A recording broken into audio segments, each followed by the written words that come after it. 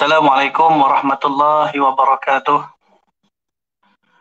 Alhamdulillahi rabbil alamin wassalatu wassalamu ala ashrafil anbiya wal mursalin wa ala alihi wa sahbihi ajma'in. Subhanaka la ilma lana illa ma 'allamtana innaka antal alimul hakim. Rabbi shrah li sadri wa yassir li amri wahlul 'uqdatam min lisani yafqahu qawli amma ba'd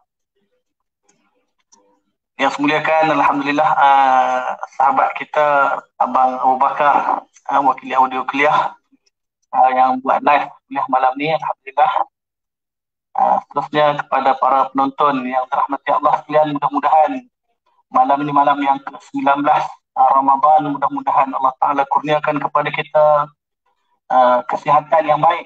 Allah bagi kepada kita kebaikan untuk terus melaksanakan uh, ibadah pada Allah Subhanahu Wa Taala. Dan apa yang lebih penting lagi, Ramadan ini menjadi Ramadan yang terbaik buat kita insya-Allah.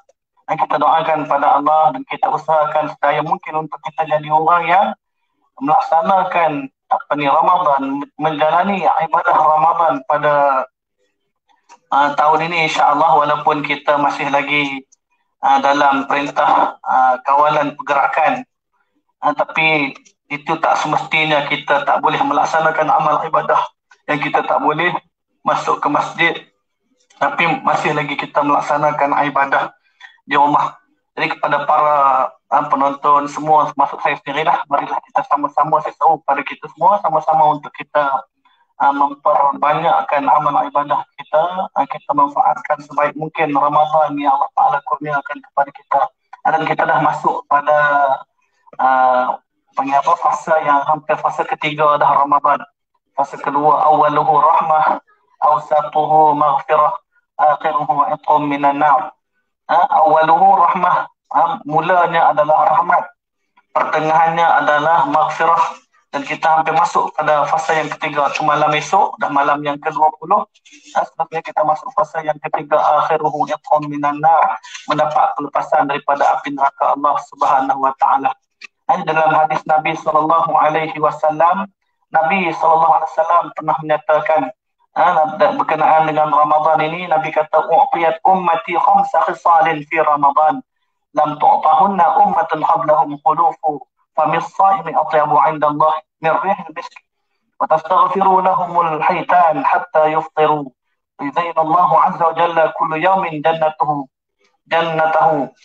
ثم يقول يوشك عبادي الصالحون أن يلقوا عنهم المؤنة ويصيروا إليه وتص وتصفد فيه مردة مردة الشياطين فلا يخلص فيه إلى ما كانوا يخلصون إليه في خيره ويغفر لهم في, في آخر ليله. Qila ya Rasulullah ahya lailatul qadr? Qala la walakin al-amil innama yuwaffa ajruhu idza qada amaluh. Nabi sallallahu alaihi wasallam menyatakan bahawasanya umatku telah dikurniakan dengan lima perkara yang istimewa yang belum pernah pun diberikan kepada siapa pun sebelum mereka. Pertama, bau mulut mereka ha, daripada orang yang berpuasa itu lebih harum daripada kasturi di sisi Allah. Yang pertama, yang kedua, kata Nabi, ikan-ikan di lautan memohon istighfar ke atas mereka yang berpuasa. Sehinggalah mereka berbuka puasa. Yang kedua. Yang ketiga, Allah mempersiapkan dan menghiasi jannah yang khas setiap hari. Dan kemudian berfirman kepada syurga, masanya telah hampir. Ha? Bila tiba hamba-hambaku yang taat akan meninggalkan segala larangan, halangan yang besar dan mereka akan mendatangi Rasulullah syurga untuk berhias kerana apa. Ada orang yang akan dapat masuk nak masuk ke dalam surga ini orang-orang yang berpuasa. Dan pada bulan ini syaitan-syaitan juga yang eh, yang yang suka ma syaitan-syaitan yang durjana juga dirantai supaya tidak menggoda manusia ke arah perkara-perkara maksiat. Ha? kemudian yang ke keempat yang kelimanya malam terakhir bulan Ramadan. Orang yang berpuasa ini akan diampunkan. Ha? Nabi SAW kata orang yang berpuasa akan diampunkan. Maka sahabat-sahabat Rasulullah pun bertanya, wahai Nabi, wahai Rasulullah, adakah itu malam Lailatul Qadar? Jawab Rasulullah, tidak. Tetapi malam itu adalah ha, malam yang Allah Ta'ala akan berikan keampunan kepada mereka yang selayaknya untuk mendapat keampunan. Sebab selepas daripada mereka beramal, mereka akan diberikan balasan selepas daripada mereka melaksanakannya. Jadi tuan-tuan dan rahmati Allah sekalian, itu antara perkara yang berkait dengan Ramadan. Jadi malam ni insyaAllah kita nak sebut perkara yang berkait dengan Ramadan juga yang tak asing kepada kita iaitu perkara berkaitan dengan Badar Al-Kubra. Ha, perkara yang berkait dengan Badar Al-Kubra. Ha, peristiwa Badar ha, ini berlaku pada bulan Ramadan. Jadi kita pun tak ada alasan lah. Nabi tunjuk contoh teladan kepada kita semua bahawasanya Ramadan ini bulan untuk kita berjihad. Tingkatkan jihad kita. Tingkatkan uh, semangat kita untuk kita nak nak menghadapi liku-liku kehidupan yang akan datang. Jadi maknanya apa? Jangan kita jangan kita jadikan Ramadan itu alasan untuk kita tak tak mau berjihad. Untuk nak jadikan alasan untuk kita tak mau bangkit, nak mempertahankan agama Allah Subhanahu Wa Taala. Jadi ibrah yang kita nak ambil daripada peristiwa Badar Al-Kubra, peristiwa peperangan Badar Al-Kubra, eh, sangat banyak. Ha, dan antaranya perkara yang kita boleh jadikan sebagai apa ni apa panduan kepada kita berdasarkan peperangan Badar, peperangan Badar yang telah berlaku pada bulan Ramadan 17 Ramadan ha, tahun kedua hijrah Nabi sallallahu alaihi wasallam atas dasar untuk bukan tujuan untuk nak pergi perang tapi kerana untuk nak pergi ambil harta. Setelah sahabat minta ha, bertanya kepada Rasulullah di mana ha, kafilah Abu Sufyan yang nak lalu melalui apa ni kawasan apa ni ha, kawasan yang ha, bandar itu ha, jadi maka Nabi SAW kata kalau macam tu kita boleh pilih untuk kita nak ambil barang dagangan barang-barang dagangan yang dibawa oleh kafilah Abu Sufyan. Ha, maka Nabi tak offer kepada semua. Nabi tanya siapa yang nak ikut untuk nak nak menuju ke bandar nah, bersama dengan dia untuk nak ha, mengambil harta-harta rampasan dijadikan sebagai harta-harta rampasan. Tapi bukan tujuan untuk berperang sebab tu sahabat-sahabat tak bawa persenjataan yang yang lengkap. Ha? Ada di kalangan sahabat-sahabat yang sekadar apa pergi untuk nak sekadar nak membantu gitu. Bawa pedang aja lah. Tapi tak ada lah alat senjata lain. Nah, ini nak menunjukkan kata tapi bila dah sampai di sana ha, setelah apa beberapa peristiwa berlaku setelah sampai di sana maknanya apa ha, Rasulullah sallallahu alaihi wasallam telah berhadapan dengan ha, bagaimana Abu Sufyan ha, telah menghantar utusan ke ke Mekah supaya apa menghantar daripada Mekah tu Abu Abu Jahal ha, bersama dengan apa ni kafilah-kafilah Arab di Mekah untuk datang ke ke tempat ha, di mana Abu Sufyan lalu tempat tu ha, untuk mereka bantu Abu Sufyan. Ha, setelah Abu Sufyan tahu kata Nabi SAW bersama dengan beberapa orang tentera daripada Madinah datang untuk nak menahan mereka di jalan. Ha? Maka oleh kerana itu Nabi SAW atas dasar untuk nak jaga agama. Kalau kata Nabi SAW patah balik, ha, maka pada ketika itu ha, menunjukkan kelemahan pada umat Islam. Maka Nabi buat keputusan bersama dengan sahabat selepas daripada perbincangan, mesyuarat dengan sahabat-sahabat. Maka Nabi SAW buat keputusan untuk apa? Untuk nak mempertahankan agama. Nak menunjukkan ke uh, aizah agama Islam itu. Sebab itu kata, perang badar ni tujuan untuk nak mempertahankan agama. Hari ni berapa ramai orang yang nak pertahankan agama. Ada orang ni tak ambil peduli tentang agama dia sendiri. Ha, sebab tu kita kena bangkit balik. Sempena Ramadan yang Allah Ta'ala kurniakan kepada kita ni, kita jadikan sebagai Ramadan ini untuk kita nak nak mempertahankan agama. Ramadan untuk kita nak nak jaga agama kita. Agama ni agama Islam yang sepatutnya semua kita bukan sekadar para asatizah, bukan kadar para ustaz-ustaz, imam-imam. Tapi yang kena jaga ni adalah semua. Orang yang yang merasa dia ni penting sebagai salah seorang daripada tonggak kepada Islam, dialah kena jaga agama Islam ni. Tadalah rahmati Allah. Nabi SAW pernah kata apa? Al-Islamu ya'lu wa la yu'la alih. Islam itu adalah agama yang tinggi dan tidak ada agama yang dapat menandingi ketinggian Islam. Dan dalam satu hadis yang lain Nabi sebut apa? Antum ala sahratin min suhuril Islam fala yu'taina min qibal. Kamu adalah orang-orang yang menjaga penjuru-penjuru agama. Maka jangan biarkan agama ikut agama itu, agama Islam ini diserang melalui penjuru kamu. Maka sebagai seorang yang seorang yang mengaku kata dia agama beragama Islam, maka wajib atas dia untuk nak mempertahankan agama. Bukan dalam arti kata bila kita kita jaga agama hal yang tak penting, hal yang penting. Eh, jaga negara penting. Jaga bangsa tu penting. Jaga harta penting. Tapi keutamaan yang lebih penting sekali ialah nak jaga agama, tak nak jaga agama. Ha? Agama ni perkara yang besar. Pasal apa? Kalau orang lain, kalau kalau kita duk berusaha untuk jaga benda lain, jaga perkara-perkara yang ha? jaga harta kita, kita jaga bangsa kita, kita jaga keturunan kita, semua kita jaga hebat. Tapi bila kita tak jaga agama, kita takkan dapat kebahagiaan. Ha? Lepas tu kata, Nahnu a'azzana, kata Sayyidina Umar Al-Khattab, Nahnu a'azzana Allahu bil Islam. Kita ni mulia dengan sebab Islam. Famahma nabtaghai bi ghairi ma a'azzana Allah, a'azzana Allah.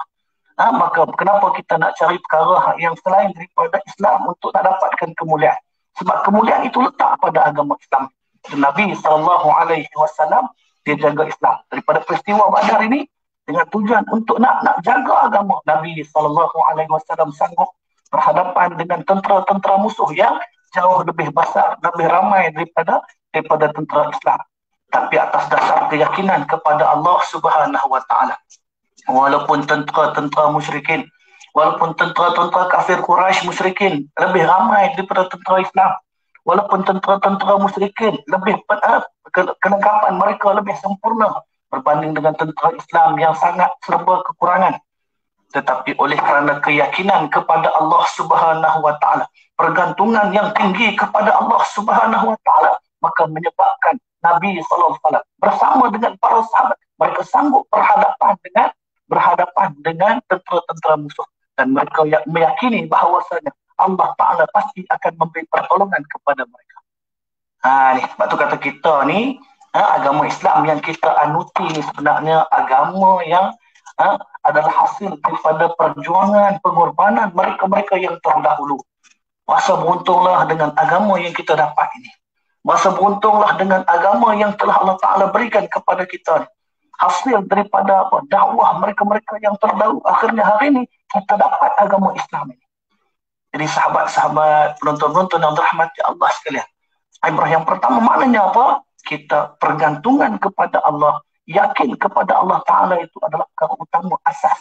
Sebab tu dalam masalah apa sekalipun, Ha, kalau kita kita buat benda apa sekalipun kita orang meniaga, ha, kita orang apa, kita buat kerja apa sekalipun, yang utama sekali kena faham akidah bagi kemah. Nabi SAW dalam peristiwa Badar sebelum daripada Badar, Nabi berada di Mekah. Kemudian Nabi hijrah ke Madinah. Jadi di Madinah, semasa di Mekah, Nabi dah tarbiah ada sahabat-sahabat. Sebelum turun ke medan peperangan ha, Badar tu, ha, bila sampai ke medan Badar, Nabi dibahagikan kepada beberapa kumpulan ha, golongan muhajirin, golongan ansar. Ha, kemudian golongan ansar ni ada Aus dengan Khosraj. Maka Nabi bahagikan. Kemudian Nabi tanya kepada ha, para para sahabat. Ha, antaranya Sayyidina Abu Bakar As-Siddiq, Sayyidina Umar Al-Khattab dan Sayyidina Ali bin Abi Talib. Sayyidina Osman tak ikut dalam perang badar. Maka Nabi tanya kepada sahabat tiga orang. Nabi kata macam mana kita? Ha, Nabi buat macam tu lah. Maka Nabi tanya kepada sahabat-sahabat kata apa?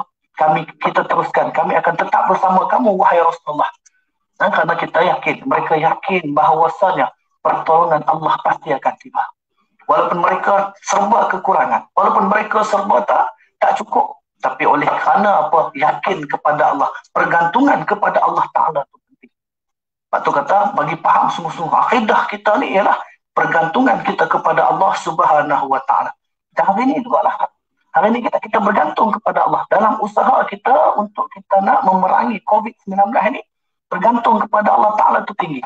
Usaha-usaha juga usaha perjuangan kita apa dia? Kita duduk di rumah. Perjuangan kita ialah kita ikut macam mana yang telah diarahkan oleh pimpinan pemimpin-pemimpin negara kita supaya apa? Kita berjaya memerangi COVID-19 ini. Kita usaha Jangan lupa cakap besar. Ada setengah golongan. Baru ni Ustaz Abdul Somad cerita ha? ada golongan hak yang cakap besar. Buat apa kita takut kepada makhluk yang kecil? Kita semayang kita angkat tangan. Allahu Akbar. Allah Maha Besar. Ada orang buat tak faham juga benda-benda macam ni. Duk faham kod akidah kata Allah Ta'ala Maha Besar. Lepas tu duk ha? duk berani, buat, buat, buat, buat berani untuk nak nak pergi ha, berkumpul kat mana-mana. Ha, kan pernah berlaku pada zaman Imam Ibn Hajar ni ha? kan?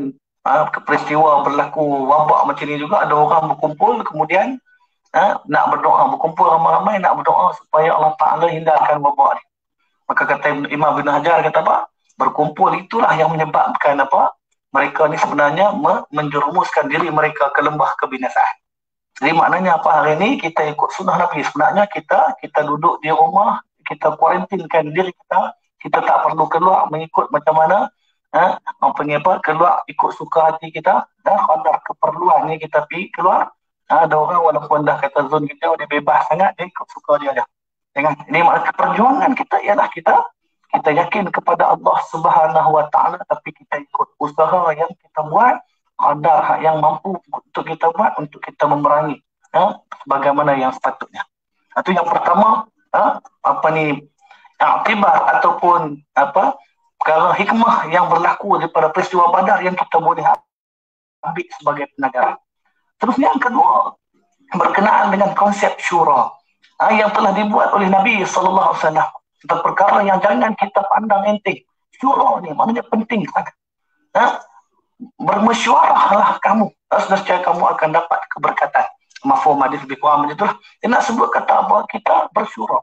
Kita bermesyuarah. Nabi SAW beberapa kali tanya sahabat ha, apa saja perkara yang berkait dengan ha, dengan apa ni dalam perangan ni banyaklah ha, berapa perkara yang Nabi SAW tanya para sahabat dan Nabi berbincang. Ada di kalangan ketua-ketua ha, di kalangan ketua-ketua tentera yang bahagian-bahagian Nabi bagi bagi uh, tugasan kepada mereka Nabi panggil untuk nak bincang. Bukan semua tapi di kalangan ketua-ketua tu Nabi panggil untuk berbincang apa yang kita perlu buat. Ada satu ketika Nabi SAW sampai dekat satu telaga. Ha, sebelum sampai eh, dekat-dekat dengan badar tak ingat nama tempat. Jadi nak sebut kata apa? Nabi tanya ha, ada sahabat tanya wahai Rasulullah adakah ini adalah ha, adalah perintah daripada Allah supaya kita duduk di sini ataupun memang sekadar pendapat kamu wahai Rasulullah? Maka kata Rasulullah ni semua pendapat aku lah kita duduk di sini. Maka kata sahabat tadi kita tak perlu duduk sini. Kita pindah pergi ke depan ha, ada lagi tempat yang lebih baik yang lebih strategik kita duduk di sana maka kita akan dapat ha, kita akan dapat menguasai telaga-telaga ni. Orang-orang musyrikin tak mampu tak akan dapat mengambil air ha, di, di telaga-telaga yang ada di situ. Maka ha, dengan sebab itu Rasulullah SAW menerima menerima pendapat daripada sahabat tadi. Yang akhirnya apa? Memberi ke, memberi kejayaan kepada kepada tentera Islam. Kerana apa? Kerana ke, ha, kerana mereka tidak dapat air jadi asbab untuk mereka. Ha, tak boleh untuk nak mempunyai apa ha, nak minum air di telaga-telaga tu. Ha, beberapa telaga dimusnahkan kemudian telaga-telaga yang ada dekat dengan apa ni tentera Islam ni dikawal. Akhirnya apa umat Islam ha, menguasai telaga-telaga sebab mana tempat strategik ha, makna kena kena ada kena ada perbincangan. Banyak lah, lah ni ada orang dia tak kisah dah buat perbincangan kadang-kadang dah buat perbincangan dah buat keputusan tapi masih lagi melanggar keputusan kita juga di rumah boleh buat perbincangan di kalangan anak isteri kita bersama uh, semua keluarga kita, ahli keluarga kita, kita boleh buat perbincangan. Bincang perkara yang perlu kita bincang, yang boleh kita bincang, insyaAllah bincanglah, dia akan jadi keberkatan, dia akan jadi berkat. Nah, mesyuarat ni insyaAllah, kalau benda tu kita dah capai kita ikut keputusan mesyuarat, insyaAllah berkat tu akan ada. Yang tu yang penting. Berkat ni penting dalam kehidupan kita. Walaupun kita eh, tak betul, tak kenal tu, kita dah walaupun syarat tapi tak kenal, kita punya keputusan syarat tu. Kita ikut sebenarnya, dia akan dapat keberkatan. Nah, betul lagi perkara menjuruskan kepada ketaatan kepada Allah kita buat, insya Allah dia akan dapat keberkatan. Ha, tu, ha? tu perkara yang yang kita boleh ambil aktibar daripada daripada badar al-kubra Dan yang seterusnya ialah berkenaan dengan iman yang kental. Ha? Doa yang berterusan serta tawakal yang tinggi juga akan memberi pertolongan mengundang pertolongan daripada Allah Subhanahu Wa Taala. Dia sebut tentang apa? keyakinan kepada Allah. Ini mana iman yang kental. Keimanan kita kepada Allah Subhanahu Wa Taala. Ha? Iman itu apa dia iman? Tasdiqu bil qalbi. Membenarkan dengan hati. Wa iqraru bil lisan. Kita iqrar dengan lidah. Wa amalu bil jawarih. Beramal dengan anggota. Iman tu ialah kita kita yakin sungguh-sungguh ha, ketinggian keyakinan kita kepada Allah Subhanahu Wa Taala. Ha? Kita keimanan yang kental para sahabat walaupun mereka ni sikit walaupun mereka ni tak ramai walaupun mereka ni tak cukup apa ni kelengkapan atau perangan tapi oleh kerana apa yang dijanjikan oleh Rasulullah mereka meyakini sekiranya Rasulullah kata ha, kita kita akan mendapat kemenangan walaupun dalam keadaan serba kekurangan mereka yakin mereka akan dapat kemenangan Ha? Dan mereka juga adalah orang yang yakin sungguh-sungguh dengan apa? Dengan mati syahid akan dapat kelebihan yang banyak. Maka sahabat-sahabat sangat merindui, mencintai untuk nak dapat mati syahid. Ha, tu. Ha, ni yang makin hari dah makin pudar ataupun makin makin hilang daripada jiwa umat Islam. Umat Islam dah kurang, dah rasa semangat. Ha, keyakinan kepada perkara-perkara yang semacam ni. Ha? Lepas tu kadang-kadang benda-benda yang berkait dengan akhirat, bab sedekah contohnya. Ada orang dia masih lagi rasa ragu-ragu, sangsi. Ha? Nak infak kepada perjuangan Islam, nak infak harta benda kepada jalan Allah, masih lagi rasa ragu-ragu. Ha, tu, ha? Ada orang dia takut, kata eh takut, takut rugi. Tak ada rugi apa. Kita bantu untuk menaikkan agama Allah. InsyaAllah ganjaran dia cukup besar. Keyakinan ni kena bagi tinggi. Sebab tu dalam tempoh yang Allah Ta'ala bagi sekarang ni pada kita ni, tempoh PKP ni. Ha? Buka buku-buku akidah, dengar juga kelas-kelas apa ni. Dalam YouTube cukup banyak diterangkan tentang akidah. Dan bagi clear sungguh tentang masalah akidah. Ha? Masalah umat hari ni, apa yang jadi masalah pada umat hari ni ialah masalah mereka suka beramal tapi dalam masalah akidah mereka cukup lemah ha, masalah iman mereka ada masalah. Ha, mereka suka untuk buat ibadah tapi dalam masa yang sama di peta ha, tak faham tentang akidah. Dan sampai akan satu masa nanti akan jadi keadaan lebih dahsyat lagi. Maknanya apa? Orang dah tak erti. Orang suka buat ibadah tapi dalam masa yang sama ha, mereka tak erti tentang apa yang apa yang dimaksudkan dengan ibadah. Dan mereka tak tahu apa kepada siapa dia beribadah. Dalam satu hadis, ha, peristiwa akhir zaman, ini sebut tentang apa? Yadrusul Islam kama yadrusu wasyus sawb hatta la yudra ma siyamun wala salatun wala nuskun wala sadaqatun. Islam akan jadi pudar. Islam Islam akan jadi luntur sebagaimana lunturnya pakaian yang berwarna-warni. Ah, ini malah pakai baju pink. Dia nak sebut kata apa? Islam satu masa akan jadi luntur. Satu masa, satu tempoh dia akan luntur, luntur, luntur, luntur. Lama-lama Islam tak, orang tak faham tentang apa dia Islam itu sendiri. Untuk dia Islam. Hatta la yudra ma siyamun wa la salat. Jadi orang tak faham apa dia yang dikatakan puasa. Ha? La yudra ma siyamun wa la salat. Orang tak tahu apa dia sembahyang. Hanya ada orang tu kata, hmm, payahlah tak pergi masjid je nak sembahyang. Tapi sembahyang, dia tak sembahyang kat rumah dia tak sembahyang. Dia duduk ingat kata sembahyang ni kat masjid. Kat rumah dia tak sembahyang. Ha, tu. Ha, jadi makna jadi orang yang rugi sangat-sangat. Pasal apa? Pasal dia tak faham apa dia tu semayang. Dia tak faham apa itu puasa. Ada orang dia puasa tapi tak semayang. Padahal semayang tu tiang agama. Dia tak jaga benda ni. Itu kata masalah keimanan yang berlaku pada umat Islam hari makin hari makin merunci. Makin bermasalah. Ha? Kemudian keyakinan iman yang yang kukuh, iman yang kental. Kemudian dah bila yakin kepada Allah Ta'ala. Kemudian doa yang berterusan. Dalam peristiwa Badar Al-Kubra ni, Nabi SAW, belah sahabat minta kepada eh, jumpa Rasulullah, Rasulullah. Kita dah sampai dekat Badar ni. Apatah kami buat satu pondok, eh, macam satu bangsa lah. Untuk Rasulullah duduk dekat situ. Rasulullah kami sediakan unta dan kami eh, adakan beberapa orang sahabat untuk jaga jaga Rasulullah kat situ. Rasulullah pun doakan kebaikan kepada orang yang bercadang tu seolah Rasulullah setuju lah maka Rasulullah buat malam tu Rasulullah berdoa. Mula berdoa. Berdoa bersungguh-sungguh. Sehingga Sayyidina Abu Bakar As-Siddiq tengok kepada Rasulullah. Sayyidina Abu Bakar As-Siddiq kata apa pada pada Rasulullah Wahai Rasulullah cukuplah apa yang kamu doa tu cukup. Sa, ha, maka dah dah memada dah. Pasal apa? Rasulullah doa sungguh-sungguh. Maknanya apa? Keyakinan kepada Allah kemudian doa pada Allah Ta'ala tu doa yang sungguh-sungguh. Jangan kita main-main. Nabi angkat tangan sampai apa? Jatuh dia punya dia punya apa? Ridak dia tu. Jatuh ke bawah. Diangkat di sana Abu Bakar letak dekat dekat bahu Rasulullah. Nak semua nak nak bagi tahu apa? Pergantungan pada Allah Taala ni memang kena kena sungguh-sungguh betul-betul kan berterusan kepada Allah Taala.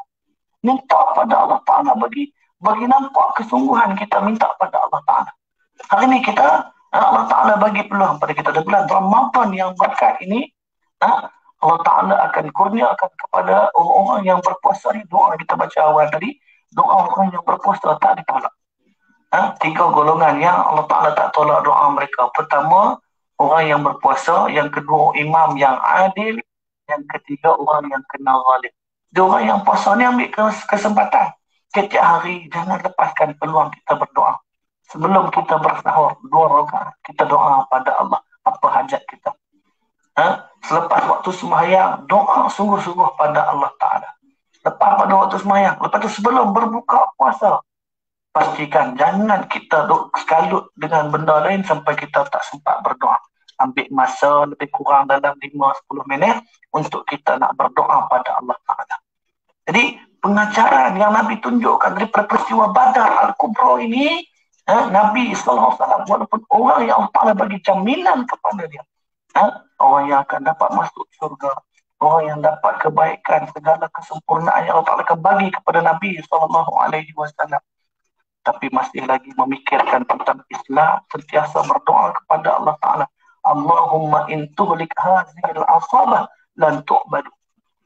Wahai Allah sekiranya engkau binasakan kumpulan yang kecil ini nescaya kamu tidak akan disembah lepas ini selama-lamanya lan tu'badu kamu tidak akan disembah selama-lamanya ha?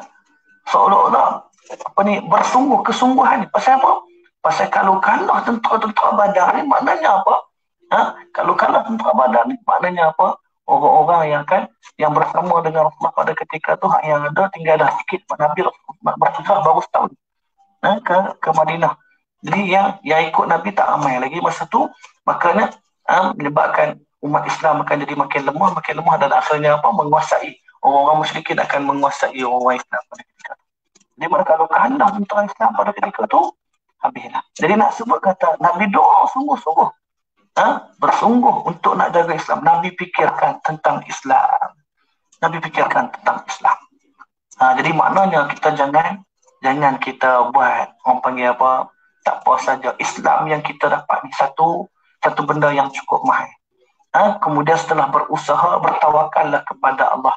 Ha, Allah Taala sebut dalam dalam apa ni Quran surah Al-Anfal iz yughashikumun nu'asa amanatan minhu وينزل عليكم من السماء ماء ليطهركم به ليطهركم به ويذهب عنكم رجز رجز الشياطين وليربط على قلوبكم ويثبت ويثبت به الأقدام ha, ketika mana Allah Ta'ala datangkan perasaan mengantuk.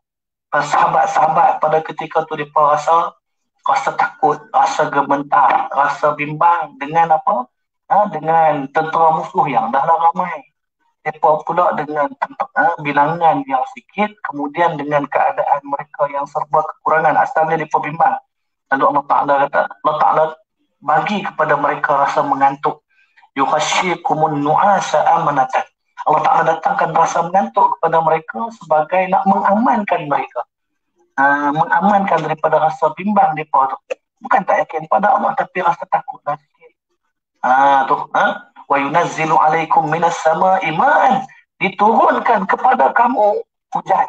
Ha, lepas tu turun hujan. Hujan yang turun kalau tengok dalam kitab Rahayul Maktum, ha, Syekh Safiur Rahman Al-Mubarak Furi cerita tentang apa? Tentang keadaan hujan tu. Hujan yang turun kepada pok-pok musyrikin yang ramai tu, ha, ada seribu orang di sana, hujan kat sana lebat selebat-lebatnya. Ah, yang menyusah menyebabkan mereka tak boleh bergerak pasal apa? Gelap ha, dengan dengan hujan yang lebat tu. Tetapi kepada tentera-tentera Islam, hujan yang turun-turun, hujan yang renyah-renyah menyebabkan mereka dan merasa mengantuk, lalu mereka tertidur. Rasa aman lah. Mereka dah letih. Tidur. Ha? Jadi wa yunaz wa yunzilu lakum alai alai wa yunzilu alaikum minas sama liyutahhirukum bihi wa yadhhiba ankum rijzas syayatin. Ash rijzas syaitan wa liyaghdita ala qulubikum wa yusabbitul abhil aqdam.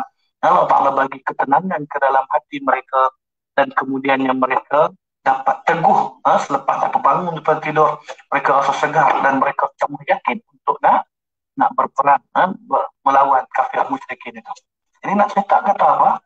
Allah Ta'ala kurniakan kepada mereka ni apa selepas daripada selepas daripada doa Nabi, selepas daripada mereka yakin kepada Allah mereka bertawakal, tawakal mereka tawakal yang tinggi. Ha, ini yang kita nak ambil, nak ambil pengajaran daripada mereka. Ha, kemudiannya, yang seterusnya, ha, berkenaan dengan kebenaran ini tidak dapat ditegakkan dan jika tidak mengikut perancangan dan strategi. Ha, walaupun duduk di peringkat dan tempat yang benar, tapi kalau tak ikut strategi, ha, tak ikut perancangan, dia tak akan dapat dapat ha, dapat dilaksanakan, tak dapat ditegakkan. Jadi Nabi SAW daripada peristiwa Badar, daripada peristiwa perangan Badar ini, Nabi SAW walaupun seorang yang benar, tapi masih lagi menyusun atur strategi meletakkan tentera-tentera mereka nah, dia ada beberapa lembah yang mereka lalui, tempat-tempat yang mereka boleh duduk, tempat-tempat yang mana yang perlu mereka mereka jaga kawasan-kawasan yang mereka duduk kat situ. Jadi maknanya apa? Diatur eh, secara rapi oleh Rasulullah SAW. Eh, kemudian di samping mohon pertolongan daripada Allah. Maka akhirnya apa? Eh, dengan sebab walaupun duduk di pihak benar. Ini hari ini ada orang walaupun dia duduk pihak yang benar tak tak mau berusaha. Ha, tak mau nak nak atur, susun atur apa ni perancangan elok elok. Ha, tu, ha, maka kita tak ikut perancangan, maka masalah batin yang merancang, ha, dia akan berjaya mengalahkan kebenaran yang tidak terancang. Ha, ini yang kita dengar selalu lah patah ya, Arab selalu sebut eh. Jadi nak sebut kata apa? Ha, kebenaran yang Nabi SAW bawa ni masih lagi diatur mengikut perancangan dan strategi. Dan insya Allah bila di, dibuat mengikut perancangan, insya Allah dia akan dia. Allah Ta'ala bagi kemenangan kepada tentera Islam. Allah Ta'ala sebut kata, sebagaimana uh, kama akhrajaka rabbuka min baitika bil haq wa inna fariqan minal mu'minina lakarihun. Sebagaimana Tuhan mengeluarkan daripada rumah untuk pergi berperang dengan kebenaran juga sedang sebahagian daripada orang-orang yang beriman itu tidak suka pun turut berjuang mereka membantah tentang kebenaran berjihad telah nyata kepada mereka kemenangan yang engkau janjikan. Seolah-olah mereka dihalau kepada kematian sedang mereka melihat sebab-sebabnya. Allah Ta'ala sebut dalam surah Al-Anfal ayat 5 dan 6. Kita buka dalam surah Al-Anfal dengan tafsir ada cerita tentang tentang perang badar. Kemudian seterusnya, ya, sikit lagi lah. Kita tak ambil masa panjang. Pukul berapa dah? Pukul sebelah dah. Jadi kita ambil eh, apa yang disebut oleh Allah dalam dalam dalam apa ni uh, pengajaran yang boleh kita ambil dalam peperangan Badar ini juga ialah uh, setelah, setelah apa nama uh, beberapa perkara yang kita sebut, uh, saya sebut sikit-sikit lah. Uh, kemudian antaranya ialah pengurusan eko, apa ni emosi lah berkaitan dengan uh, aktibar yang kita boleh dapat daripada peperangan Badar ini ialah berkenaan dengan pengurusan emosi. Uh, pengurusan emosi ni penting ha? kita kuatkan pergantungan kepada Allah dengan bersungguh-sungguh. Ha? sebab apa? Asalnya bukan bercadang untuk berperang tapi sekadar untuk menahan kafilah Abu Sufyan. Jadi mereka berusaha bersungguh-sungguh. Walaupun mereka tidak ha, cukup kelengkapan tapi mereka mendapat nusrah daripada pihak ha, pihak Allah Ta'ala. Ta'ala hantar nusrah. Sebutkan antara 3,000 ha, ada kata 1,000 ada kata 3,000 malaikat yang datang untuk nak membantu tentera-tentera tentera-tentera Islam. Ha? Dan uh, tentera musyrikin nampak ha? yang datang untuk tu dia ramai sungguh. Oleh kerana apa? Pengurusan emosi. Emosi ni kena kena stabil, kena bagi elok. Kita tu dalam keadaan apa sekalipun, jangan kita jadi orang yang gelapah. Jangan jadi orang yang tak tak kawal emosi kita. Jaga jaga emosi kita dalam keadaan apa sekalipun ha, bila kita jaga emosi ikut macam mana yang diperintahkan kepada kita insyaAllah kita akan dapat dapat kebaikan insyaAllah. Jadi tuan-tuan dan rahmati Allah tu antara perkara-perkara yang saya rasa kita boleh ha, sama-sama jadikan sebagai sebagai ibrah kepada kita lah. Ha, ha, kita duduk di penghujung zaman juga lah kiranya. Ha, pun begitu. Jangan kita jadi orang yang sesi Allah Ta'ala dah bagi peringatan kepada kita hari ini ha, dengan sebab datang COVID hari ini, ha, Allah Ta'ala nak bagi kita sebab Allah Ta'ala sayang kita. Allah Ta'ala peringatkan kepada kita dengan cara macam ni. Sebab tu kata kembalilah balik kepada Islam. Ha, saya menyebut kepada semua, orang yang menentang Islam takkan berjaya selama-lamanya. Tak ada dalam sejarah orang yang menentang Islam dia akan berjaya. Dan tak ada dalam sejarah orang yang hidup tak mengikut macam mana yang Islam nak, dia tu akan dapat kebahagiaan. Tak ada dalam sejarah ha, dia tak akan jadi orang yang bahagia. Bahkan dia akan jadi orang yang sangat rugi. Ha, wa man yabtaghi ghayra al-islam dinan falan yuqbala minhu wa huwa fil akhirati minal khasirin. Siapa-siapa yang ambil selain daripada Islam sebagai agama, sebagai cara hidup, ha, dia tak akan dapat kebahagiaan. Dia akan jadi orang yang rugi. Sebab tu kita, kita ikutlah macam mana yang Islam nak. Ha, buatlah macam mana Islam. Balik kepada Islam. Jalan dia kembali kepada Islam, kita akan dapat kebahagiaan. Kembali kepada Islam, kita akan dapat ketenangan. Kita akan dapat keuntungan. Ha, tu tak, kita kena kena faham sungguh-sungguh insya-Allah ha, dengan sebab kita balik kepada agama Allah ni. Ha, jangan kita sekali-kali kita biarkan ha, ha, dalam keadaan apa ni hari ni dalam keadaan apa ni Allah Taala peringatkan kepada kita tapi masih lagi kita kita tak tak ambil endah pada pada agama Islam. Ini menjadi kita menyebabkan kita jadi orang yang orang yang sangat-sangat rugi. Sebab tu dalam tempoh yang ada ni saya nak nasihat pada diri saya khususnya pada semua ha, supaya marilah kita sama-sama cuba untuk nak ha, tambah sekali kita jaga ibadah kita lah ilmu kita walaupun tempoh sekarang ni nak mengaji tak tak boleh pergi di masjid tak boleh berhadap muka dengan guru tapi kita boleh ada live ha, macam macam malam ni ha, kita tengok malam ni banyak lagi yang lain-lain pun banyak juga masih nak ha, yang guru-guru lain yang buat live jadi kita usahakanlah untuk kita uh, kita beramal uh, untuk kita mempanggil persiap buat persiapan diri kita ni. Uh, tu. Uh. Jadi makna kita perbanyakkan amal ibadah kita, kita perbanyakkan kita punya uh, orang panggil apa? Mempersiapkan ilmu kita untuk kita jadi seorang muslim yang kukuh pegangan ya daripada dan Allah Taala meredai kita dengan apa yang yang telah kita buat. Kita tuan rahmati Allah. Ha? Saya rasa tak boleh nak panjang lagi ni pada pada dekat ni ya. Ha? uh, Abang Bakar pun dah insyaAllah uh, mungkin uh, dah boleh main eh? orang tak nak setting kita nak sebut kata apa uh, dengan dengan apa yang kita kongsi pada malam ni lebih kurang lah uh, saya sebenarnya cadang nak santai-santai tapi dia, dia semangat apa sikit jadi insyaAllah mudah-mudahan uh, adalah manfaat dengan apa yang saya sampaikan ini uh, dengan apa sebuah kekurangan uh, saya kadang-kadang jadi yang tersegan untuk nak sampaikan secara live ni kita bukan ahli sangat dalam berceramah. Tapi ha, bila memikirkan ha, ha, permintaan atau ataupun daripada segi sahabat-sahabat lain sanggup mereka macam Ustaz Mawin berusaha sungguh-sungguh untuk nak nak menyampaikan ilmu pada pada orang ramai. Saya rasa macam aku kena buat juga jadi tu yang terima juga tu. Ha, jadi insyaAllah mudah-mudahan dengan sedikit sebanyak yang saya kongsikan pada malam ni bukanlah ilmu secara mana pun jadi mudah-mudahan jadi manfaat kepada semua. Ha, saya rasa tak perlu lagi nak uh, atau apa nak berceloteh panjang uh, pada setengah jam yang saya sampaikan ini uh, sedikit sebanyak membantulah pada mereka-mereka yang uh, yang mencintai ilmu saya, saya faham. Mungkin di kalangan pendengar ni juga mungkin daripada kalangan mereka yang lebih arif tentang tentang ilmu eh, lebih faham tentang uh, sirah ni. Saya tak minat tak bukan tak minat tak pandai buat sirah tapi saya suka baca. Jadi sekurang-kurangnya terang dan tu pun jadi jadi manfaat kepada kita dan insya-Allah uh, Allah Taala akan bagi kepada kita kebaikan Allah Taala catat kepada kita mungkin asbab malam ni kita berkumpul untuk kita tengok program-program yang seumpama ini asbab untuk Allah Ta'ala nak bagi kepada kita taufik, Allah Ta'ala nak bagi hidayah kepada kita, Allah Ta'ala bagi kekuatan kepada kita untuk kita terus istiqamah di atas jalan Islam dan kita mendapat kebaikan di akhirat nanti insyaAllah. Jadi saya nak doa lah insyaAllah sebelum kita kita habis eh, Kita doa sama-sama insyaAllah tuan-tuan Siapa yang dengar tolong aminkan. Ha, Mudah-mudahan ada ada manfaat ya. eh, ada ha? A'udzubillahiminasyaitanirrajim Bismillahirrahmanirrahim. Alhamdulillahirrabbilalamin Wassalatu wassalamu ala ashrafil anbiya wal mursalin. Wa ala alihi wa sahbihi ajma'in.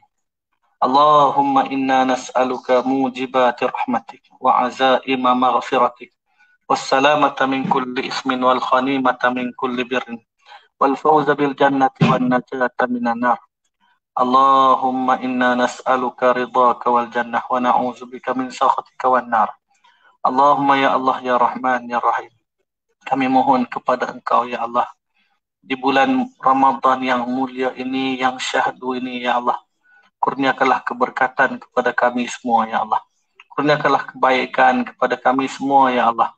Mereka-mereka yang menonton mereka-mereka yang mendengar mereka-mereka yang berada di merata-rata hari ini ya Allah. Kurniakanlah taufik dan hidayah kepada kami semua. Ringankan tubuh badan kami untuk melaksanakan ketaatan kepadamu ya Allah.